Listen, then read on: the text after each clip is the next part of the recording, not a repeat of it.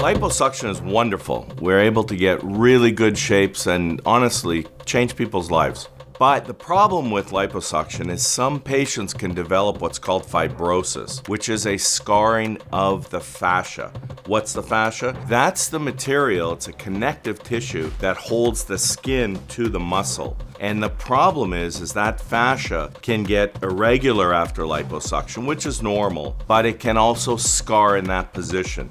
And when it does, it gives you very lumpy, bumpy skin that's noticeable. It's a telltale sign that you've had liposuction. We don't want that to happen to you.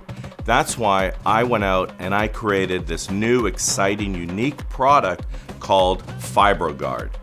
FibroGuard is similar to a waist trainer in that it goes around your body. You wear it starting two weeks after liposuction, goes underneath the faja. And the thing about FibroGuard, it has these wonderful little half spheres of foam that are all throughout the garment. And those little spheres work their magic because they mimic lymphatic massage. So they recruit your body's own tissue, your body's own lymphatic system to help with the swelling and to help keep the fascia soft. If you get soft fascia, you're going to have soft, supple skin.